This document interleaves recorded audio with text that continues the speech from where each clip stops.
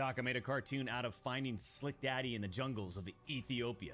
I'd love for you to give it a watch on stream. It's on top of your subreddit right now. says Mash Out Media with a $10 super chat donation. Holy shit, Reddit? I don't even know how to spell that.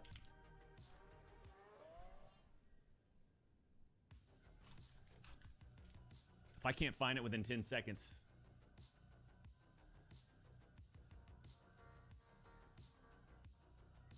There it is. Okay. Oh.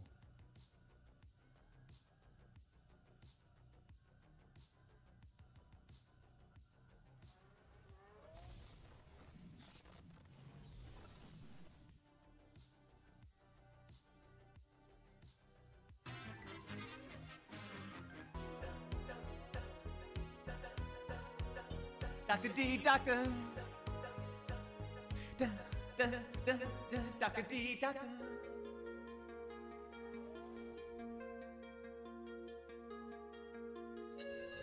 I decided to go to Ethiopia.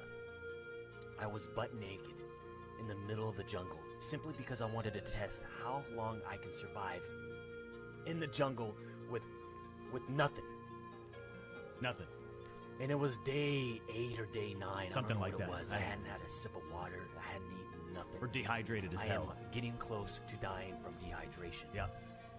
I found this this one tree, It was amazing. and it was the only tree in the area that was dripping with water. So I went down there. I You went in there. naked on my back. I let the drips go right into my mouth, and all of a sudden, out of nowhere, dropping from the vines below, There from it the vines above, just There it is. boom, right on my lip. The poisonous Ethiopian caterpillar found its way to the doctor's world. Hmm. Story. Bonded, we formed a solid relationship, Yeah. and then moving forward, we decided to get into the business of streaming.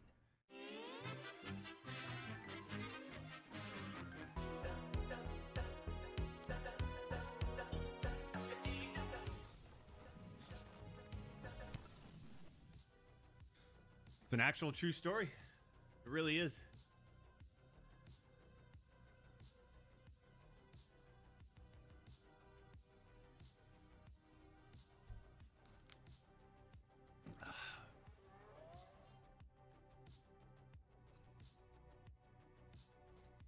Is there another episode? There's got to be a few more of those, huh?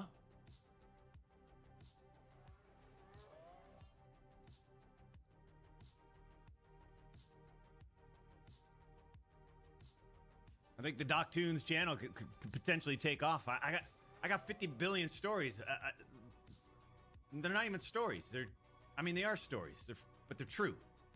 I got so many stories that we've shared over the over the, the years.